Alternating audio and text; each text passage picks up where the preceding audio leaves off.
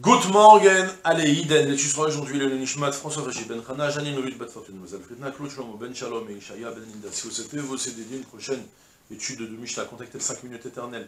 Nous étudions Masechet Pea, Perekret, Mishnah Vav. Midazo Amura Bakoanim, ou Baleviim, ou Baisraelim. Haya Matzil, Notel Mechetza, Venoten Mechetza.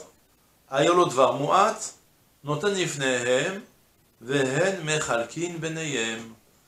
On avait appris dans la, dans précédente la quantité de fruits ou de céréales et ainsi de suite à donner au pauvre lorsqu'il vient réclamer que tu lui donnes du matnot, de matnot anim.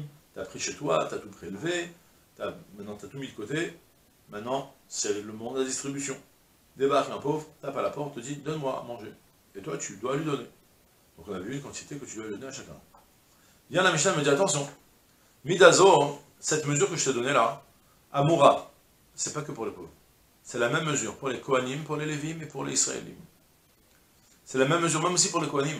S'il vient te demander la Trouma, donc, excusez-moi, pour la Trouma, tu prélèves un cinquantième, un cinquantième de, de la Trouma, donc maintenant tu as beaucoup moins de fruits que quand c'est le Maaser, le Maaser c'est un dixième, bah, tu dois malgré tout, lorsque vient un Kohen, il te tape à la porte, tu dois lui donner une quantité importante, donc lui donner une Souda, idem aussi pour le Lévi, le Lévi, donc, euh, à qui tu as donné le Maaser Rishon, et aussi pour le, le Israël. Ok? Israël, c'est les pauvres, comme ce qu'on a évoqué, je ne sais pas pourquoi c'est répété d'ailleurs, mais c'est le même principe. À part ça, Hayam Matzil, on, on va parler maintenant de quelqu'un qui voulait être Matzil. Il a son frère, son cousin, qui est un pauvre, et qui a besoin, demain soir, le mariage de sa fille, et il est pauvre. Maintenant, moi, j'ai mon champ de blé, j'ai récupéré maintenant, je voudrais bien donner à ce frère, à lui donner, euh, je sais pas, moi j'ai 50 kilos de maaser Annie à lui donner, comme ça il pourra faire toutes les chalotes du mariage grâce à moi, c'est super, non? Je voudrais bien tout lui donner. Je viens de finir tout prélevé, je suis tout content, je commence à m'organiser pour lui amener, et vient un pauvre, donne-moi à manger. Bon, est-ce que je dois lui donner? Combien je dois lui donner? Alors la Michel me dit une directive, attention. Tu peux sauver pour ton proche que jusqu'à la moitié. Haya Matsil, Notel Mechetza, Venoten Mechetza.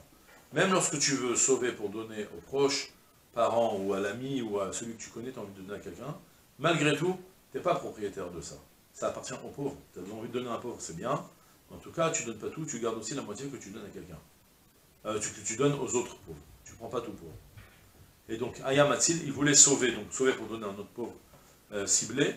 Eh bien, malgré tout, Notel Merza, il prend pour lui la moitié, Venoten Merza, il est obligé de donner la moitié de ce qu'il a.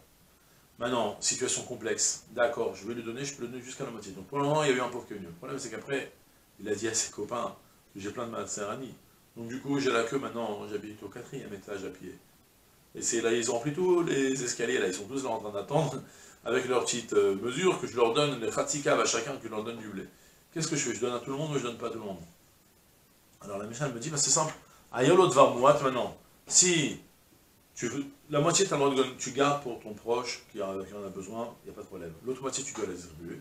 S'il y a trop de pauvres qui sont venus et que tu n'as pas de quoi donner la quantité requise à chacun, tu ne les fais pas attendre, tu ne leur donnes pas au fil, selon la file d'attente, tu leur dis, écoutez-moi, j'ai cette quantité-là, descendez tous, tu descends, tu poses au milieu et qu'ils se débrouillent entre eux.